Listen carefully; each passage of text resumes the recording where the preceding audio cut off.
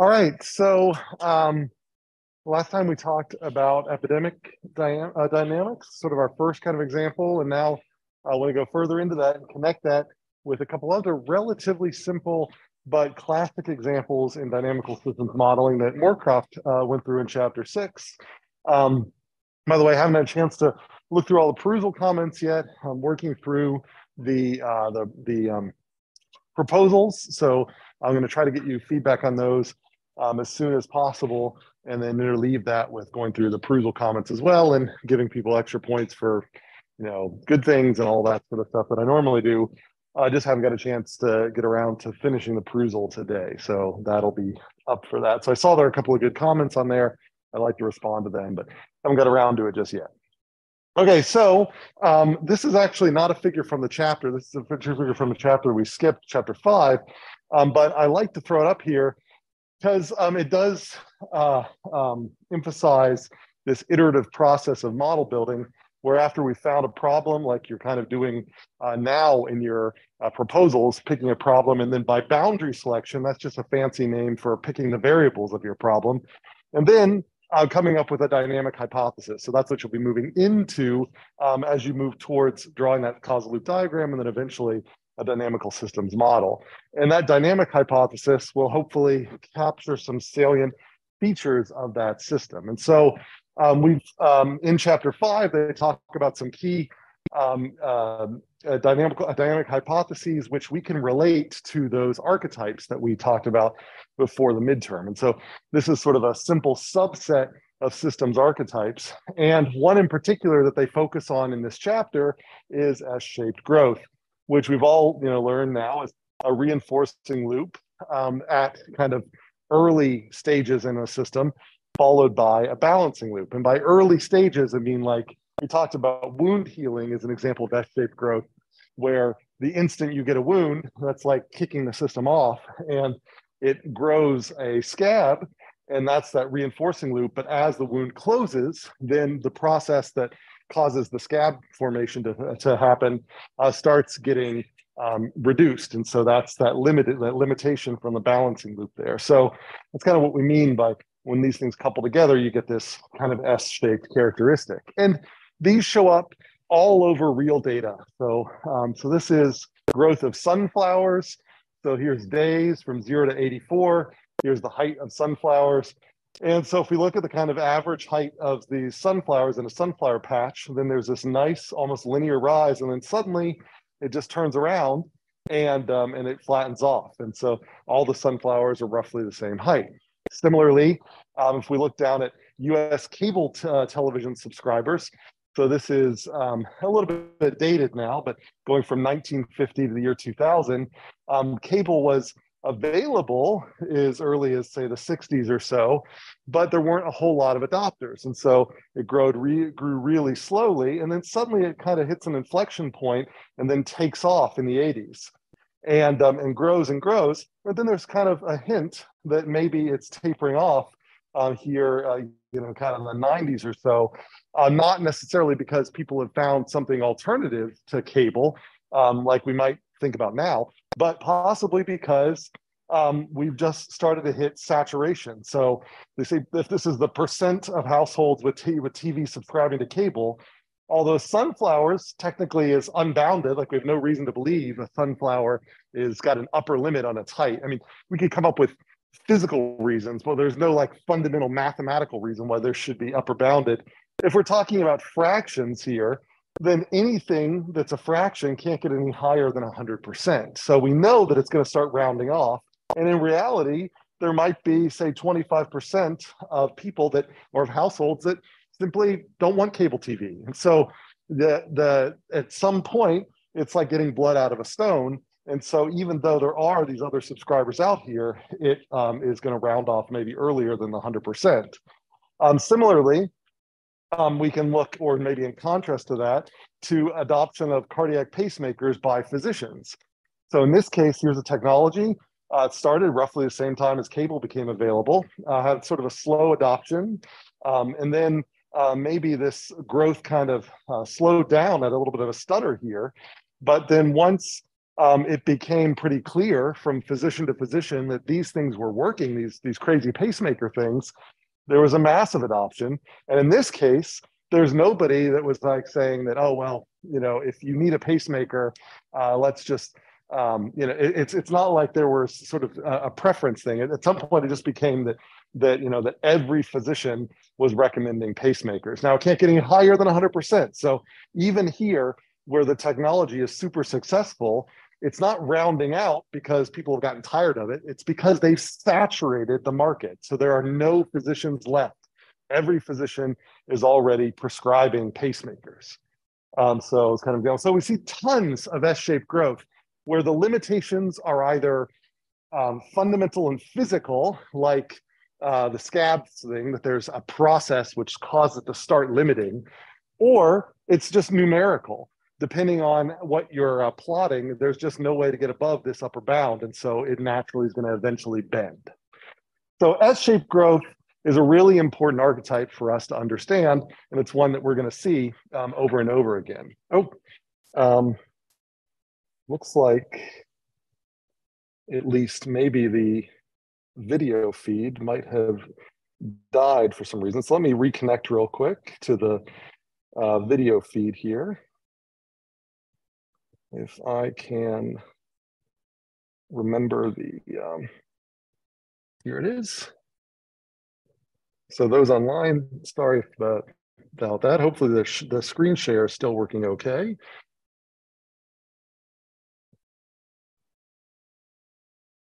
And there we go.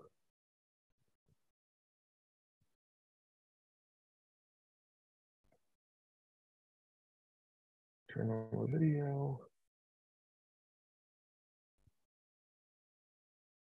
Okay, so hopefully that's a little better for the recording. Sorry about that. All right, so um, S-shaped growth. So anything that has this sort of pattern um, is probably going to be able to be described by some causal loop diagram that's going to have a reinforcing loop and a balancing loop somewhere. So we've got the generic version on the left here, where we've got some growth engine, which is going to have a growth rate that's feeding into some system state that grows, that feeds into more growth rate. And then we've got some limiting process where as the system gets bigger and bigger, the adequacy of a resource gets smaller, usually because the system reaches a carrying capacity. And that carrying capacity um, could be, again, physical and fundamental or like a process that has to do with like the scab formation, or it could be some more abstract carrying capacity, like it's numerical, like the number can't grow any higher than 100%.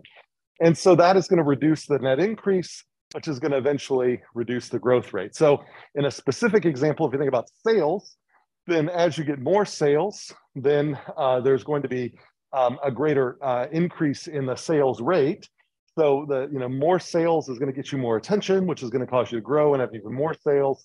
But um, eventually, there's you just run out of people to sell your product to because they all own your product, and so then you hit saturation, and then it slows things down.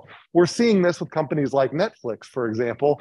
They had massive growth, and then uh, partly due to people maybe the demand reducing because you know uh, pandemic pressures are different and all that, but also just partly due to um, just even without changes in demand, just once you get a, a 80% of the market having Netflix, the other 20%, it's really hard for them to get on there. And, and that's why Netflix is realizing some of that other 20% are you know sharing Netflix with somebody else, which is why they're now pushing to do this profile transfer thing and gradually going to start cracking down on people sharing Netflix accounts because they're trying to fight this um, fractional reduction in their growth rate because uh, they um, realize that they're pushing up against saturation. And so again, it's like getting blood from a stone. They got to um, squeeze that thing even harder to try to get extra growth out.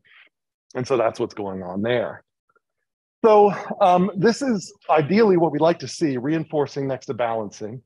And if we think about the first S-shaped growth curve that we've seen in this class, it was from this fisheries example. And I think I've talked about this already, that this fisheries example is, um, is nice um, from a, a, general perspective, from a biological perspective, it's sort of a simple model that we can identify with and all that, but it's hard to see some of these fundamental structures here. So like it has a single loop here that is both reinforcing and balancing depending on how big the fish stock is. And that's because it goes through this lookup table, net regeneration, which I've got over here, which has fish density on the x-axis, net regeneration on the y-axis, and some curve um, over here. And when you're in low densities, this curve is uh, rising.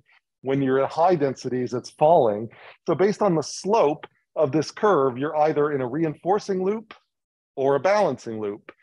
And so it's kind of ugly to look at this because when you look at this, it's not clear from just looking at the how the dynamics are set up here, what the fundamental system archetype is, but it should be S-shaped growth.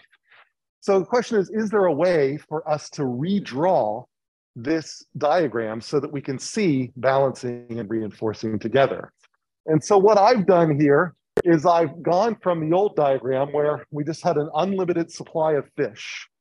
And here, the valve um, gets restricted according to this net regeneration curve. So as you get higher and higher fish, the valve opens, but then at some fish density, the valve starts to close. And that um, closing happens all inside here, but otherwise the source of the fish were viewed as unlimited. That's what this kind of little cloud symbol is here. Well, um, my thought was, well, what if we just flip that and create a second stock, kind of a virtual stock of potential fish? So if we think back, if we go back to this previous version, so I'm just going to keep going back and forth here, to calculate fish density, we had to know the maximum fishery size. And so this might have been a thousand fish. And so if we do the fish stock divided by a thousand, we get the density in the fishery. We know the density can't go above one. And so here, the maximum fishery size is what sets that upper bound that's definitely going to limit things, that's going to lead us to this uh, decline in the regeneration rate. So my thought is, what if instead of having this, this exogenous variable, maximum fishery size, what if instead I create another stock called potential fish, where this is like fish that haven't been born yet, and this is like fish that are born yet. So if you add the fish that are born to the fish that haven't been born yet, you get your carrying capacity back. So if you start with two fish here, you might have 9,998 fish over here, um, corresponding to a carrying capacity of 10,000 fish. So these fish don't exist in reality, but we're modeling them as if they're these sort of potentials, these kind of ghost fish that might come into existence. Now, why would I want to do that and not have that carrying capacity that's out here? So, and this is what I'm, by the way, I'm summarizing down here. So, fish density now is fish stock divided by the sum of these two. And the maximum fishery size, instead of being a parameter, it is now the sum of these two things. And so if I want to change the maximum fishery size, and I think I'm going to give away a, um, a question later here, but um, is that um, I just change the initial conditions for these things. So whatever the initial fish plus the initial potential fish is, that is going to be the maximum fishery size. And that will always be the sum of these things, regardless, you know, whenever you gain a fish here, you'll lose a fish there. So the sum will always stay constant. So when I do that, then the question is, can I rewrite this, um, this, this system here so that I can consistently make the loop over here, let's say reinforcing, and the loop over here balancing. So the idea is kind of like um, as I get more fish, I'm going to get a pressure to get more and more fish. But eventually, if I'm getting really low on potential fish, no matter how much these fish would like to reproduce, they're not going to be able to because there won't be enough potential fish left over. That's what I want to kind of capture with this model. And so, how do I do that? Well, I'm going to get rid of this lookup table. Um, and I could do something where I could have created another lookup table that would be similar to this. But in order for me to really kind of get, um, you know, make it clear that this is going to be a reinforcing loop and this is going to be a balancing loop, um, I am going to approximate the curve that's in this lookup table with a formula that will make that clear. And so what do I mean by that?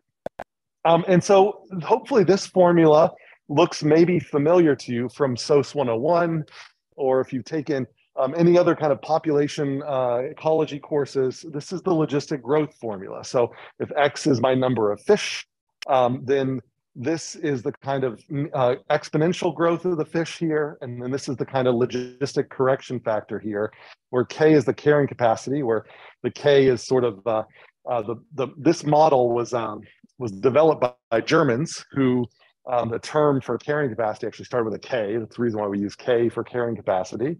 And so um, this this k minus x is number of kind of fish, basically potential fish, whereas k is the total number of fish in the fishery. So a lot of times you see it written like this down here, where um, this k minus x over k is 1 minus x over k, but I think it's actually nicer to write it in this form because then you've got x as the number of fish and k minus x is kind of the number of additional fish that could be added to the fishery and we can see that they're kind of being multiplied together. And what I like about that by writing it this way is it gives me a hint that this is a reinforcing loop because I can see that um, X seems to be having a positive influence on this. And this looks like it might be a balancing loop because um, I'll end up seeing that um, K minus X will end up having a, um, a, uh, a negative influence here because of this outflow. So we'll see how that works here in just a second. So this is our logistic growth formula. Any questions about this before I kind of move on and restructure this? You might also notice that I did um, a little bit of, uh, I factored out this x divided by k here, um, going from this to that. And this is all equivalent, like these, this, this k times this k, those would, would cancel out. So it's just rx again. Um, but um, so, but this was just a, I'm doing this trick here because I'm trying to actually extract density, which is x divided by k. And this shows, this way density will show up in this expression. Okay, so with that in mind, um, this little trick that I did here took the logistic growth equation and it turned it into an equation of only one variable, that variable being density. There's these exogenous uh, parameters, R and K, but if I just accept those as being set by some population biologist elsewhere, the dynamic variables, the only thing that's changing over time is the density, x divided by k. And this is great because this is this function is basically the original hump-shaped um, logistic growth curve or the hump-shaped net regeneration curve that was originally in the lookup table, um, where the x-axis or the horizontal axis was x divided by k. So for low values of x divided by k, this rises. And for high values of x divided by k, it falls. And so we get a hump-shaped curve out of this. So by putting that in there, then um, I'm starting to see here that um, I'm I can start sort of studying um, how fish density, um, how it fish density here is going to end up um, relating to these loops here. So I feel like I'm getting closer and closer being able to analyze the sign of these loops. So I'm going to plot this here to confirm. If I plot this thing, I've got fish density on my horizontal axis, net regeneration on this axis. And I find that this formula, sure enough, regenerates basically the curve that I had in that lookup table. So now I don't need a lookup table. I can use the math instead. It's not quite the same because that lookup table had a, like a little bit of asymmetry to it, but um, for, and we can add all of that stuff, but just for simplicity, I'm going with a nice simple logistic growth a regeneration curve. So now I just do a little bit of, um, of algebra. Um, so, um, you know, I can, I can play, I can take this expression here, K, and I can say, well, K is always going to be X plus Y.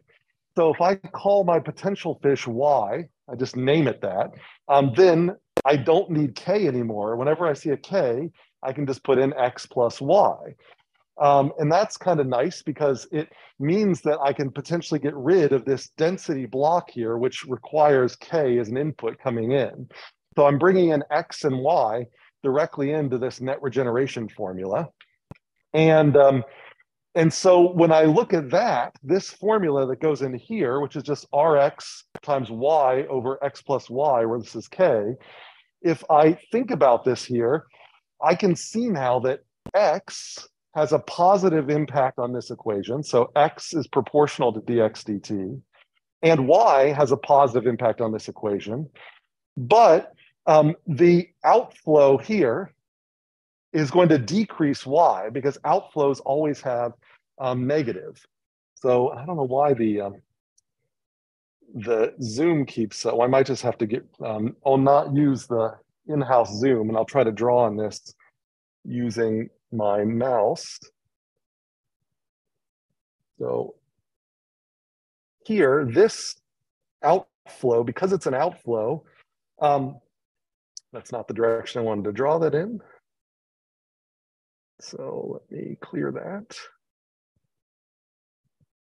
All right, so if we remember here, outflows have an implicit negative arrow going backwards because as you increase the outflow, you're going to decrease the potential fish. So now I can see that um, Y has a positive impact on net regeneration. The more potential fish there are, the higher the net regeneration rate. I can see the net regeneration rate has a positive impact on the outflow. Um, just because that's the reason we've written, we just copied basically net regen- the outflow is equal to net regeneration. So they're they're linked together. And then the negative going back. And so that one single negative means that this loop here is balancing. Whereas in the other direction, I know that X has a positive impact on this net regeneration formula. I know that this is a plus, and I know that this implicitly has another plus. So I can see here that by breaking things up into this form, I've got the exact same system, but now I've structured it so that it's very clear that there's a reinforcing loop so that all things being equal, if you could somehow hold the potential fish constant, the more fish you'd get, the higher the net regeneration rate. All things being equal, if you could somehow hold the, the number of fish constant, but then increase the number of potential fish, the net regeneration rate would go up. But as the net regeneration goes up, then opposite things happen to y and x. As the net regeneration rate goes up, it decreases y, the potential fish, as it increases x. And that decrease in y um, eventually will eventually pinch this net regeneration rate off, and that's what gives us our S-shaped growth. So in this form, um, I, um, I can see the S-shaped growth without having to analyze the shape of this lookup table anymore. And that's why this structure is a little bit beneficial. And so it's a little weird to create this virtual stock called potential fish because there aren't potential fish in reality like these are you know but it's a it's just an alternative way to model carrying capacity to model the market saturation level and in this alternative way we get the exact same dynamics but it's presented in a way where the our, the system archetype is much clearer and so that's why we're going to see this pattern um, pretty uh, pretty often, and we see this pattern in this chapter where they've got adopters of technology and potential adopters of technology. And so those potential adopters, we actually are a real people. Like we got people with iPhones and without iPhones. Well, here it's like we've got things that are fish or are things that make up fish, and um, and so eventually you run out of ways to make fish, and that's the same thing of running out of people who have empty pockets that you can't put an iPhone into. So this is a common way to represent S-shaped growth curves is by breaking things up into actual and uh, potential, as opposed to creating this lookup table that kind of bundles both curves together inside one table. So does that modification make sense that I'm doing this weird thing where we're breaking things up in two, um, as opposed to leaving them in that um, original form where everything was tied up in the lookup table? Does this idea of potential fish make sense?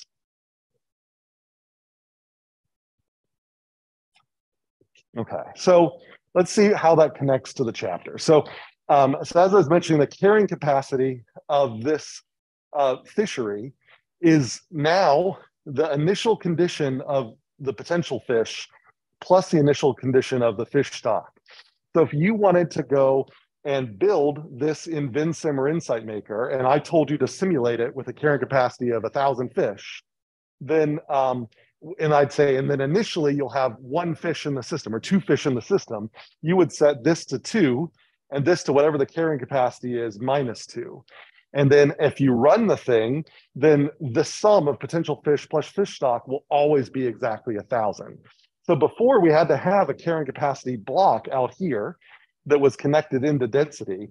Now we can get rid of that extra variable and it's just going to be the sum of these things. So the initial conditions of multiple stocks when added together determine the, the, the, the max size. So that's the weird thing about this is we've taken carrying capacity, which we usually think of as one number, and we've effectively turned it into multiple numbers added up together. So does that transformation make sense? That in we do have a carrying capacity inside here, but it's the sum of the initial conditions of the compartments. It's just like in the SIR model, there's always 10,000 people. Nobody dies, nobody's born, but they move around where they are. So here there's always a thousand fish, but they're either potential fish or real fish at any instant of time. So if I were to ask you, like on a final exam, like what's the carrying capacity of this system, and I were to show you that, um, you know, at a certain snapshot, um, there would be um, 100 potential fish and 500 uh, fish, then you know that it would be 600 would be the uh, carrying capacity of this system. Okay. All right. So that's all I'm saying here. Okay, so um, this is our, you know, this is basically a Vensim version of what I was just drawing there. Remaining fish capacity, that's kind of like potential fish and fish stock. Uh, we got our birth rate here, which is just this background birth rate times the current number of fish trying to have new fish uh, times this kind of limiting factor, which is um, you know the potential fish here. When you start looking at this, I hope it kind of looks a little bit like the SIR model, where it's almost like I've got infected individuals, how often they're bumping around into anyone else. And then over here, this is the total population, and this is the fraction of the population who are susceptible or who are potential fish. So really, this is exactly the same formula that we had for our SIR model, um, where you know the the need to reproduce is just the the background encounter rate, and but the actual fraction of encounters that lead to infections or reproductions is the fraction of the population that is uh, the remaining fish capacity. And so with that in mind, um, you know, does this rate look familiar? Um, you know, I can just put, you know, this is like susceptible and this is like infectious. And this birth rate is like the change in infectious over time. And so really this is, again, the exact same formula we saw in the SIR model, where we've got um, this V times C, well, this is like um, the, um, like our infectivity uh, times contacts per day. And then this is the fraction of those contacts per day that are dangerous. So we've seen this archetype, or we've seen this structure before. So population growth in SIR models, like once you get used to one set of formulas, you know the others. They're identical. You just got to like do the analogy. So I think that's what I'm kind of showing here, that, um, this fish capacity, fish stock is really just the SI part of the SIR model. Everybody see that, that, you know, that once you understand population growth, you understand half of the SIR model and vice versa. So susceptible population may as well be potential fish. Okay. So um, and then this is kind of it kind of written out a little bit more here. So infectivity is this V, um, contacts uh, per day as this C times I, and then this um, this is our number part. This is our number of susceptibles over total population. So again, the flow in the SIR model matches this here. So we get used to seeing these things. We'll see them over and over and over again. And so that gets us to the chapter. So the chapter focuses mostly on the Bass innovation diffusion. And this is basically, and it's not, although I've got it related to a fishery model here, it's not named after Bass the fish. It's named after a, a guy whose last name is Bass, who was an operations researcher who came up with this model for the dynamics of a market. And it is effectively, although it's a in some ways a population growth model, it was sort of um, viewed as a contagion process. And so they really thought of this as kind of an adaptation of an of the kind of an SIR model or an SI model, where you've got potential adopters, those are ones who are susceptible to infection. Adopters, those are the ones who actually are infected with the product.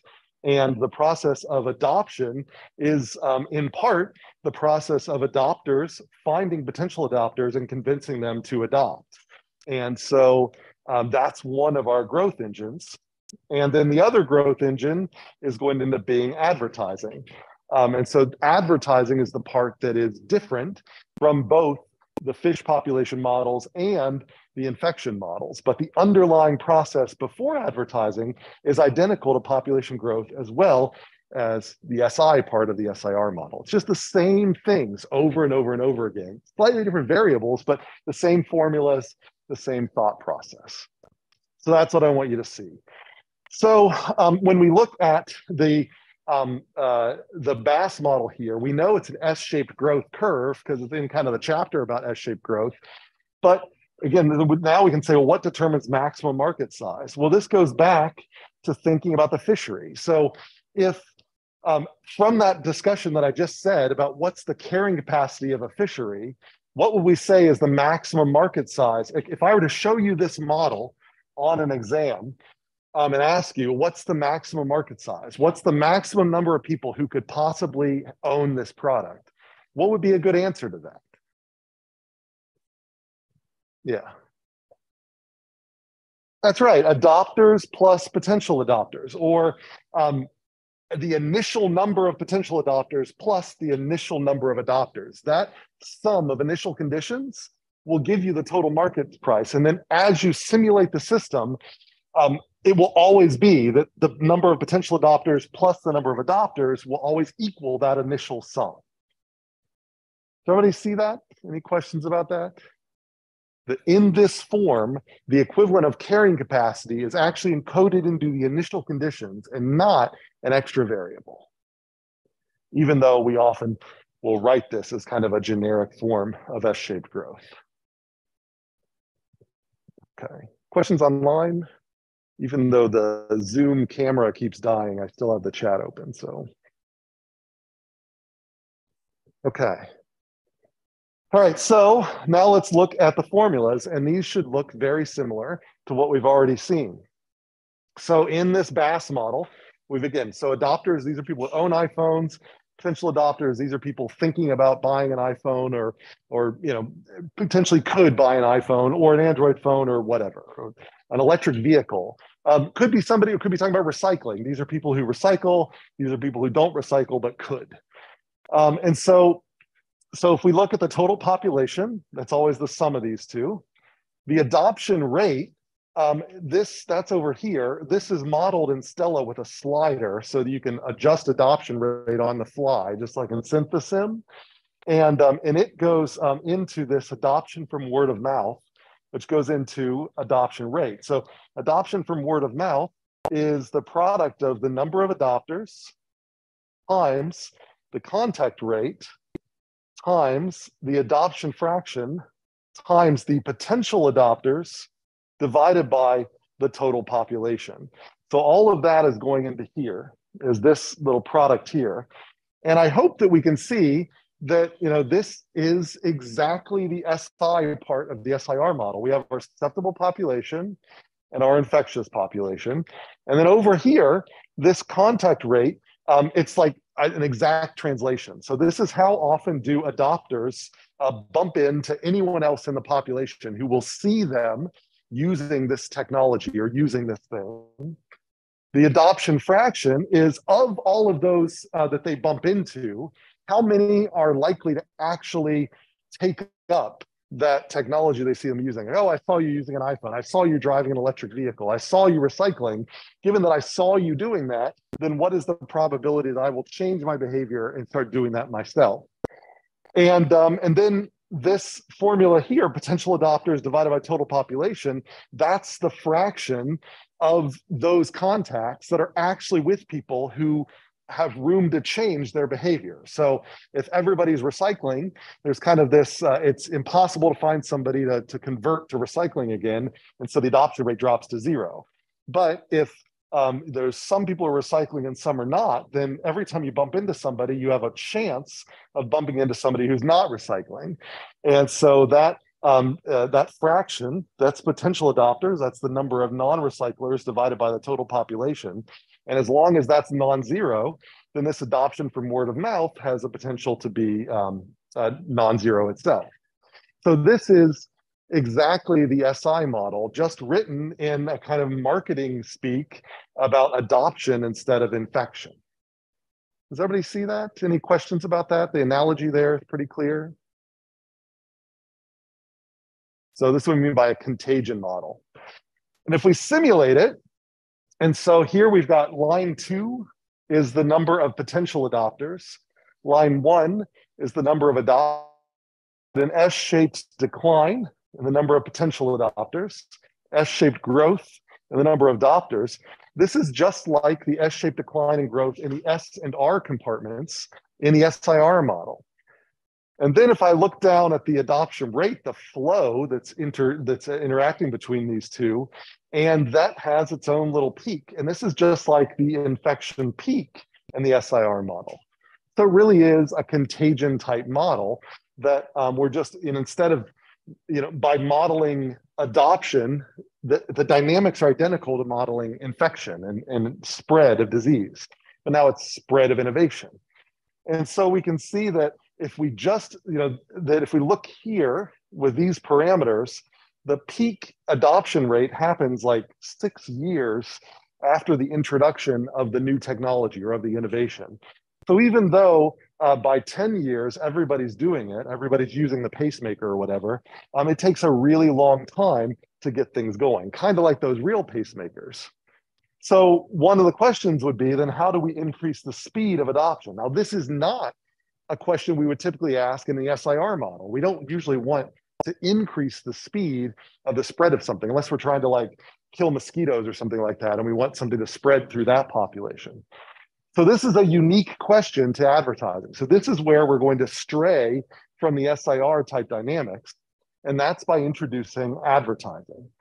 So we add a separate little feedback here where this is a way for us to kind of inoculate the um, the population with this innovation or this disease artificially so that we don't have to depend on word of mouth up front so in other words it's how do we get initial the initial adopters there? So when all you have is potential adopters then you can uh, have an advertising process that we can model as um, this adoption from advertising, which is going to depend on only the number of potential adopters and advertising effectiveness. And so this is modeled as a slider that we can play with here, which basically has to do with how much money are we willing to spend?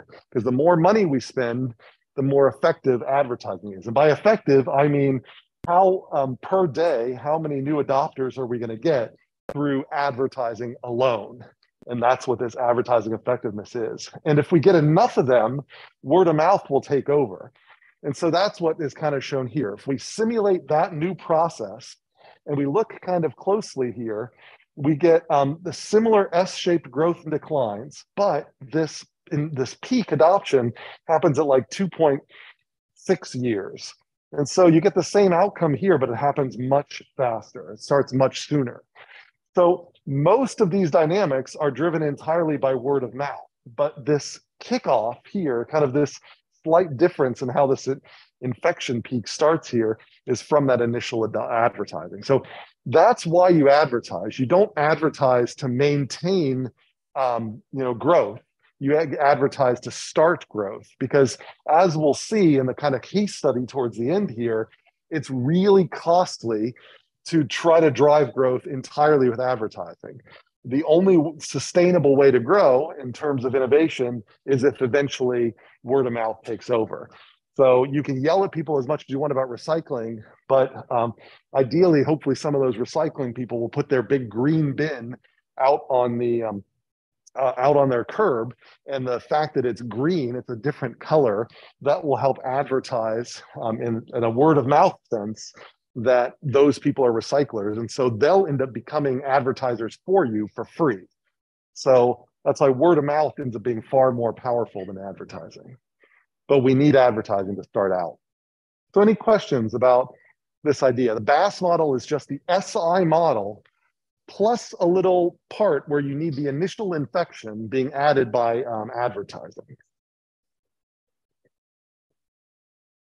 Okay. And so with the Bass model, we can experiment with things like how much money should we spend on advertising? All right. Okay, so that's one thing we kind of learned from the chapter. Um, and, um, you know, is how we can take a model and then bolt stuff onto it to make it our own. And we can see other examples of that. So, um, so this, we already said that this is the Bass model here, which is basically the SI model plus advertising. But if we want to think about the types, and this is the type of thing you might do in your final project. So you might say like, I want to model, you know, the diffusion of recycling through a population or something like that. Um, you'd say, well, you can start out with things that look a lot like that and then add a little bit to them. That's perfectly reasonable to do. So like in this case, you could think, well, let's say we don't just want to talk about a generic product. We want to talk about um, a product that will have uh, repeat purchases. So I, I use baking soda as a great example of this, where baking soda is one of these few products that you can convince people to buy and immediately throw away. So they buy baking soda and then they dump it down the drain. And um, or they buy baking soda and instead of using it for baking, they put it in the refrigerator and they tell them that it goes bad after 30 days, and so you need to refresh it or something like that. So this is great because you can, um, you know, if you just depended on baking soda for baking, um, unless you do a lot of baking, one box of baking soda would take a very long time um, to use. So, um, so these sorts of things sort of help you guarantee repeat purchases. So, how do we model repeat purchases with the Bass model? Well, we can take our standard Bass model, but then we bolt on this thing to the top where we say, well, for every adopter, we can create a repeat purchase rate which will just add to our sales rate. So we've got from the initial adoption, that gives us some sales, but then every adopter is going to give us additional sales. So if we want to model our total sales, we need to look at more than just who's adopting the product, but how often are they repeat purchasing? And so we can have a slider that says, well, how quickly are people consuming our product? And then that can help us see how our sales are being balanced between initial adopters and repeat users. And so we can help analyze how important it is to convince people to come up with repeat uses. And so, um, you know, and you may find that for your particular product, you don't actually get that much out of this repeat purchasing. And so it's not worth marketing these uh, uses. But for baking soda, I think they found that um, the adoption rate was so kind of slow that they could come up with alternate purposes or ultimate reasons to use baking soda. And then that would increase this repeat purchase rate. And that is a major part of their sales. And so that's a simple idea. We're not even adding on new dynamics. You're really just adding on a new way to do calculations on top of the existing dynamics. So that's one thing we can do. Another thing that we can model that's fundamentally different from sort of a general uh, purchase is a so-called durable item like a refrigerator. You know, hopefully um, a refrigerator will last for a long amount of time, um, but and that's what makes it durable. So a durable good is something where um, you get its value over a long period of time. You don't buy it and immediately realize its value. Its value comes to you over time, and you only buy very few of them. So you buy a refrigerator once, and hopefully you keep it around. Um, you know, refrigerators 20 years ago might have lasted 20 years. Refrigerators now last three to five, but either way, it's still better than like one. Um, and so, but if we think about uh, how we want to model that, then uh, we've got an adoption rate, but we've also got a discard rate because now it's important to think about, um, you know, when they buy it, like we're only going to get the sale when they transit from potential to adopter. And then they're not ever going to buy it from us again. And so um, then we have to kind of mod the discard rate becomes kind of important here. So what's the average product life and how does that affect our sales? And so there's a possibility that when they discard their broken refrigerator, they'll buy a new one from us. they might buy a new one from someone else too. So there's a bunch of other questions you could ask here, but this discard rate becomes a focal um, uh, issue in sort of how many adopters are out there. Like, you know, um, because they because the, they, the adoption happens so infrequently. And this modification is pretty much identical to the modification. So the way we model discard rate here is we'll just say maybe adopters divided by average product life. So average product life, we can put that in, and that's like a time constant. So we know that on average, every refrigerator lasts for five years. We drop a five year in there, and then that is tells us how often we're going to churn from adopters back to potential adopters. And so um, this, so this is just a, a pattern that we've seen before, like in our bacteria. And if we look at this, this should look familiar to something at the very end of the epidemiology. This is like the SIS model, where now we have susceptibles who become infected, but then become susceptible again. And so this means that if we simulate this, then what we find is in the market, there's always going to be some fraction of individuals who have refrigerators and some small fraction of individuals who are going to be a need for a refrigerator. And if we adjust the mean duration of the disease, or in this case, the mean lifetime of the refrigerator, we can study how that's going to change the background level of people who are looking for a refrigerator at any unit time. And if we're you know Best Buy or Spencer's or whatever, then we might be able to use this information to figure out how to stock our inventory. So would we should we load up on a whole lot of refrigerators or not? And um, and how does over time if this mean duration gets lower and lower how is that going to affect these things so that's kind of another example where we can just bolt on if we're really interested in this repeat purchase of durable items then we bolt on a little flow and it's still Bass model with a minor modification that's just what we're showing here so um, so i mean i've shown you three examples the fish population the um, sir model and the bass model. And so if you think about it, the fish population's like the fundamental one. The SIR model added a recovery stock, but it's still basically population growth. And the bass model added advertising. Now I've shown you kind of slight modifications of the bass model.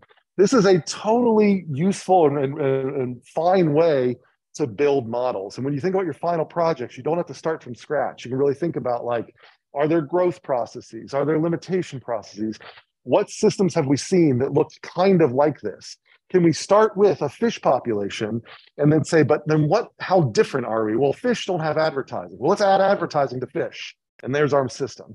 So rather than starting from scratch, it's usually very useful to sort of start with a system that is similar in analogy and then gradually add details to move it toward you on the modeling spectrum towards kind of your more specific case hopefully those examples kind of make sense. And it doesn't mean that the SIR model or the fish uh, or the fish growth, whatever is going to work for you, but I just want to throw those up there as like we're going to see a lot of examples. So feel free to start with those before you go off and do your own thing on your final project. So questions about any of that? Okay. All right. So um, other tips that I get from this chapter um, is what what can you do with these models? And these are examples of things you might want to do. Like in your final project, you're going to want to come up with ways that you can sort of justify why you even built the sim. And a great thing you can is explore hypothetical scenarios that have outcomes that you may not have been able to anticipate without the sim. And so they gave this example toward the end of the chapter of EasyJet, this um, low cost carrier introduced in, in Europe that um, wanted to get in uh, into the, uh, the, the air. Um, well, the, the, they wanted to create a new niche for low cost air and start competing with the big airlines. And so it's a this bright new business idea, low cost air travel. Um, they establish EasyJet and then um, puts a huge amount of capital down to buy 12 brand new Boeing 737. And so the question is, and these are durable goods, right? I mean, so you don't immediately get the benefit out of this. So then the question is, um, are you actually going to make up this $500 million Um, and how quickly is that going to happen? And it turns out that it takes about 1 million passengers to end up uh, making up for that 500 million. And I think that's without worrying about the time value of money, interest rates, and all of that. So we want to build a model that sort of helps us plan our strategy for deploying these planes and figuring out if it's possible for us to hit this and if we need to modify our strategy let's say add advertising and all that to be able to to reach this a million passenger threshold so we need to come up with a dynamic hypothesis for um, how the our new product is going to diffuse through this existing market so how do we model growth so just like, and this could happen in your final projects, you're like, we have a growth loop. So how do we model that? So well, growth, typically we need to start with a thing that's growing as a stock. And we need to have an inflow because it's going to be growing. And so it has to come from somewhere. The inflow is how things grow. So potential passengers to EasyJet, increase in potential passengers to EasyJet. And what's the one way we can get growth? Well, advertising is one way we can get growth. So, not counting on word of mouth at the moment. And so, there's marketing spending, or as the Brits would say, marketing spend, um, that um, goes into this. And we have a little slider which allows us to adjust our level of spending in our sim. And then we've got marketing effectiveness. So, for every dollar we spend, how many passengers do we turn over with that? And so um, hopefully we have some data on marketing effectiveness we can put into that. And so then we can say just by advertising alone, um, how much money do we have to spend in order to achieve our 1 million passenger um, threshold? And if we look down at it, we don't probably don't even need simulation for this. We can think, well, if the marketing spending is um, you know 2.5 million pounds per year, and the effectiveness is 50 passengers per um, uh, thousand pounds spent, then if you kind of do the math there, then um, you know, so this is uh, 50 times 20, 125,000 new passengers per year. So at this spending level, um, this is not a million. So we have to spend, a, you know, we have to keep spending this amount of money every year for whatever eight, nine, ten years in order to firmly go over this 1 million passenger. And so that's a, a lot of money to turn into passengers. And so um, already, you know, we were talking about, we put this huge investment in these planes.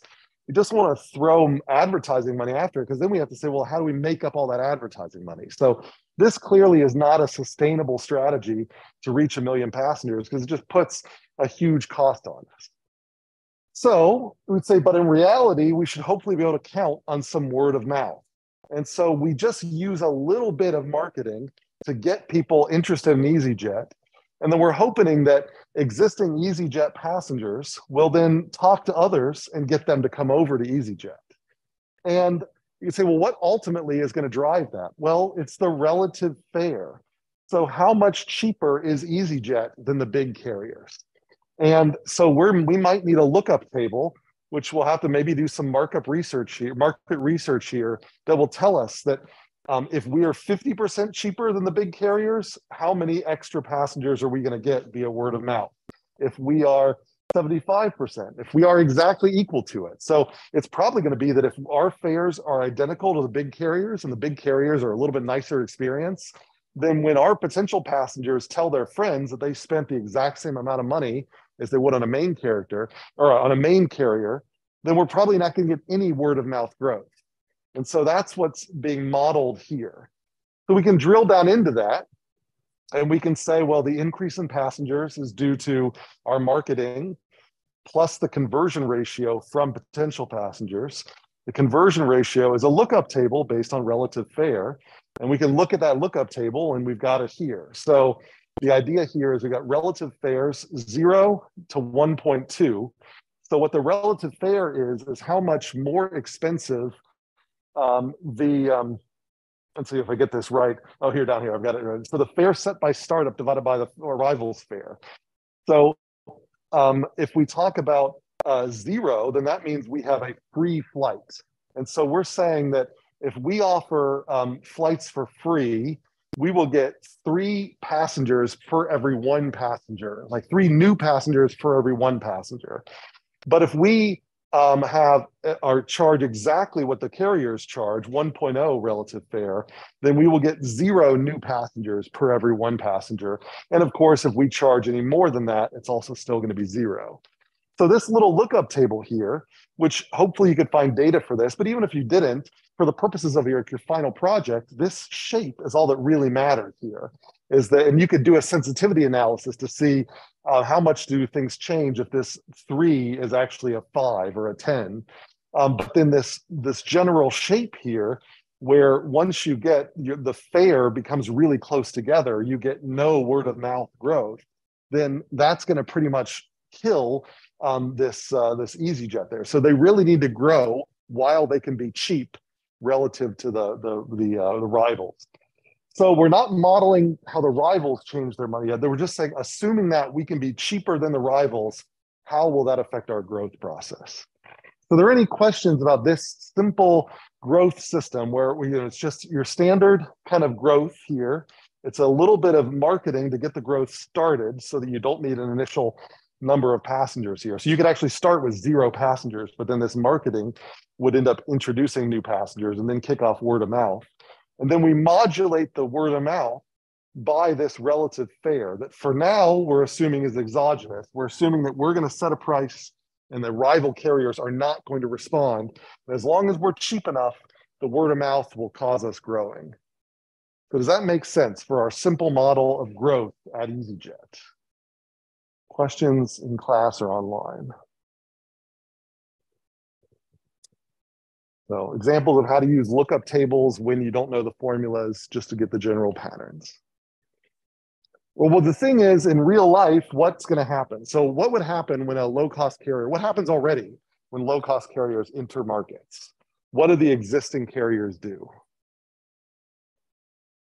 They're going to try to lower their own prices, right? So, but how do they lower prices? Like, um, I mean, ultimately, they're going to be limited, right? So you can't just lower the ticket price. That might mean you need to restructure things. You might need to lay off some people. You might um, need to cut services that you you offer. So maybe you don't have free check bags anymore, et cetera. It's going to take time to uh, lower that price, and that is what the the the EasyJet's counting on. That the the major carriers can't immediately lower their fare in response. So we need to now model those dynamics. How will a rival change their fare in response to our fare? Well, um, the rival's fare will change over time. Well, if if the rival fare is going to change over time, what does that suggest? How should we model this in Vensim? What should we? We're going to go up to the Vensim, or we're going to go to Insight Maker. What type of variable should we select to represent rival's fare? Should it be a stock, a flow, or a normal variable? Yeah. A stock, that's right, absolutely. Anything that changes over time, fundamentally. I mean, of course, variables and other things change over time, but something that like is the key variable you're trying to modify. Then you're saying, how does this change over time? That should be a stock. So we're going to need to draw that in as a stock and then model its flow, how it's changing over time. So is it possible for it to change instantaneously? What determines the timing? Um, and so on. So these are the things we're going to have to model. So we put the fare in as a stock and we've got a flow, change in rivals fare. Now notice it's got two arrows. That's Stella's way of indicating that the flow can be an outflow or an inflow, depending on whether it's negative or positive. And the um, the the the white side or the I don't know I mean they're both filled but the the one that's that's filled with white here that's the positive direction so if this is positive it's an inflow if this is negative it's an outflow and so we now need to build a change in rivals fare. So we're going to kind of do this similar to how we did the restructuring of the police force from before the midterm and one of those examples out of Morecroft, where we say we have a um, that we would like to bring we now i'm referring to the, as a rival a rival would like to bring its fare down to the fare set by the startup so that becomes an input that we would like to pull our fare down to that fare. But we can't do that immediately. And so we have a time to change costs. This is the toilet model all over again. This is the water level at the top of the toilet. This is the water level right now. This is how quickly the valve can change the water level. So we can model, um, you know, how long it takes for the fare to reduce, for the rival to reduce their fare by a dollar. And that will end up being this. Like, so we know that uh, in order for them to reduce their fare by a dollar, they need to um, you know, restructure something internally that just takes time to restructure. They have to do new routes, new whatever. And that can be somehow summarized by this time to change costs. Now, we can use a slider here because we are EasyJet. And so we're sort of trying to do strategic planning to say, we don't know how fast they're going to change. They could change this fast, they could change this fast. So we should use this as a slider so we can move that around and see different scenarios there. And so what's the formula that's going to be in here is basically going to be the rivals fare um, minus the fare set by startup. It's like tank gap. It's like the water level um, or the target water level minus the water level divided by the time to change costs. That's what the change in rivals fare is. It's just the toilet model all over again here. It's a simple smoothing delay where every time the fare changes, there is a smoothing delay in how the rival fare changes, and the time constant is the time to change cost. So we're seeing the same things over and over and over again. And once we build that, we can connect it to the relative fare. Um, so the relative fare is the fare set by startup and the rivals fare. And that relative fare used to be an exogenous variable, but now we see we have two sectors. We have our EasyJet sector and a rival sector, and the exogenous variable in the EasyJet sector is now connected to the output of the rival sector so that now it's one big system together. So we've endogenized the relative fare by adding fare dynamics here. So any questions about what I mean by, you know, we've got a simple model, maybe overly simplistic, but it's just a model that allows us to do strategic planning so we can see um, you know, if it takes this long for them to change their fare by a dollar, how is it going to affect our response? If it takes this other amount of speed for them to change their fare by a dollar, how is it going to affect us as EasyJet? Okay, questions online. All right, so this is the way that looks in terms of equations here. Um, here's our initial condition for the rivals fare. It's uh, you know 25 pounds per passenger mile. Um, the change in rivals fare, and this is again just the toilet model. So fare set by startup, that's like the target water level, minus the rivals fare, that's like the current water level, divided by time to change cost, that's the time constant. So, um, so that is what sets this change in rivals fare here. Uh, we can set the fare set by startup. Um, in this case, as an exogenous variable to this system is that price and we can set the time constant to four years. So every pound um, that you can, it would take you four years to um, to change this by a pound, you know um, per passenger mile. And, uh, and so that's kind of where we set things. And since this is the slider, then we can move this around as we're playing with the sim. So, um, as I've kind of been hinting at here, you should hopefully recognize that this equation and this structure is exactly a smoothing delay. And so um, we could use an exponential smoothing function in Vensim or Insight Maker, like smooth or delay, instead of this whole block here. And so um, where the uh, initial condition for that smoothing delay would be um, uh, this 0.25. So um, it's Insight Maker, it's smooth. Vensim, it's smooth I because it has an initial condition because we need to put that initial thing there. So I can basically replace this whole ugly box block here with its stock with a rivals fare block, which just has smooth or smooth I, which will, um, will automatically implement this um, connection between the fare set by startup and the rivals fare. So again, it's like the toilet model in a single command. You don't have to do it that way, but and here it is right here. So I think actually in Morecroft in the text, um, SMTH1, that's how Stella implements a smoothing delay. And you can see it's got the target. This is like the input. This is like the time constant, and that's the initial condition. So smooth I in Vensim with these arguments, uh, smooth an Insight Maker with these arguments, and that completely gets rid of this whole thing here. All right. Any questions about how that's a smoothing delay?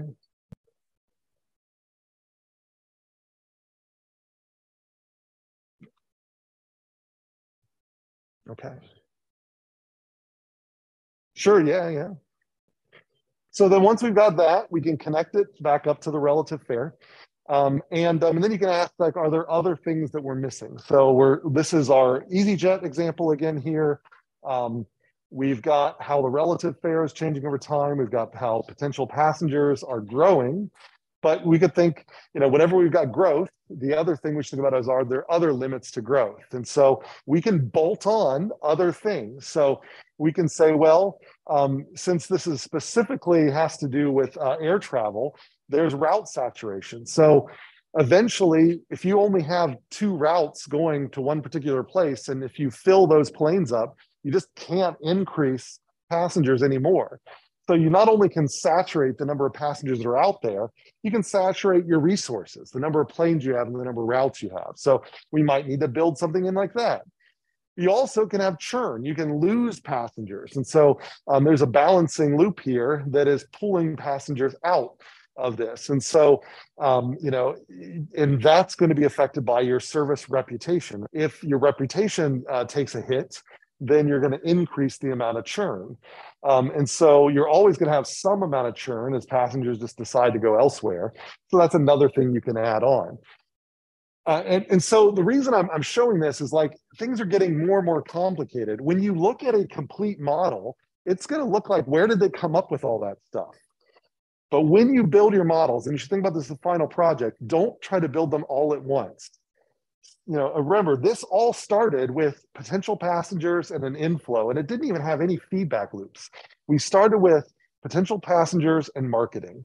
Then we added a loop, and then had this relative fare that we decided to put in there. Then we needed that. We added a little system over here for relative fare. We keep bolting on little bits to little bits, but overall, fundamentally, it's all stuff you've seen before. So start with small Lego blocks and keep building onto it. And that's what they've done here. And eventually, after you do all of that, you've got a growth engine, you've got um, a rival, uh, sort of a uh, an adversarial section here, the rivals and how they respond, and then you've got the route saturation process as well as the churn. So um, you've got all of those things together, and you've got what now looks like a pretty complicated causal loop diagram summarizing an even more complicated uh, stock and flow diagram. But if you really think about it, if you build it up step by step, none of this was that difficult. Like none of it was that complicated. So we started from small bits and we grew on top of it. So don't try to start here. Start here, add this, add that, add that, and then eventually you'll get something. And for your guys' final projects, I mean, I'd just be happy if you know you had these two things. Um, you know, the rest of this it'd be icing on the cake because it just you know it's a it's a narrowly scoped. Is your first time doing it, and you only got half a semester to do it. So, and so I'm kind of using this here as a model for what you should maybe think about for that final project. And if we zoom out here, we can see that we really have, after all of that, just a variation on Bass's diffusion model. There's our growth loop, there's our balancing loop um, with advertising that's been built in there. So again, it's really just the Bass model that uh, with a couple of modifications added on. So start with a basic model and make it your own. That's my, my big message from this chapter. And um, so after you do that, you'll formulate the whole thing, you're gonna run it, and you're gonna test it. Um, and so we're not gonna get all the way through, I think, this today, but, um, but the rest of, and if, you know, I've got some videos for how to use sliders in more exciting ways on Canvas, but the rest of these slides, which I'm not going to go through in great detail here, but um, as you've seen through the chapter, what they were able to do is basically take one slider. So again, this is a great example for your final project. They generated really interesting results by taking a single model and moving a slider around. Two sliders, sorry. They've got marketing spend. So again, that's how Brits say spending is spend. So the amount of money that you're putting on, uh, you're spending as marketing. And then the time to change costs. So this is how much money we're investing in EasyJet, and this is how much money or how much time, how quickly our rivals are responding. And it sets up effectively four qualitatively different regions. And so up here, we spend um, a lot and our rivals do not respond uh, very quickly. And as a consequence, we grow super fast and in only a couple of years reach our threshold. So that's what this blue line is. But if our rivals were, uh, you know, more, they moved more quickly to respond, we see that we don't grow, we saturate at a different level. We still reach this, and it's a little bit later that we hit our threshold, but it's not that much later. Down here, we've got um, very little that we've chosen to spend, but our rivals, fortunately, have not responded very quickly. So we still, it takes longer to hit our threshold, but we grow to a high level. This is a major problem is if we are too cautious in our marketing, our rivals and our rivals have fast retaliation. It's just like water off a duck's back. Our rivals will look at us and not think, uh, then blow by us and not think about it again. And we'll be stuck always under threshold. So these, this, you know, this is a great example. A single model with two sliders sets up four qualitatively different scenarios that we can then make um, conclusions about that we need to make sure that we market fast enough, but maybe we don't need to market super fast and so on and so forth. So this would be a great sort of comparison you could have like in your final project. All right, so I don't want to keep you any longer here. Um, reminders, um, we've got other chapters coming up. Uh, Sunday night, you got your muddiest point. You got this assignment E2. Uh, we're going to um, introduce a new assignment on Thursday, E5, and that will be, I think, the last assignment you have. So the rest of the semester um, will be uh, working on your final project and maybe a little bit of this reading. So with that, let me give you an attendance exercise. And if you got any other questions, I'm happy to chat about those after.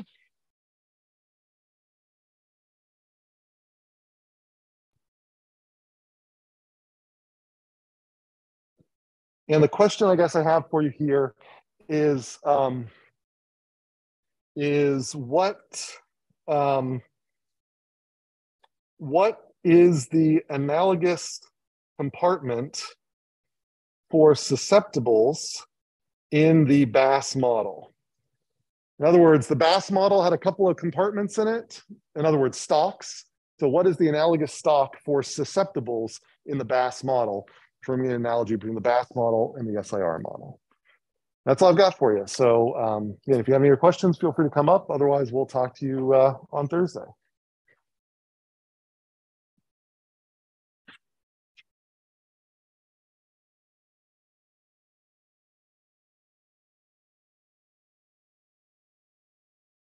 And any other questions online?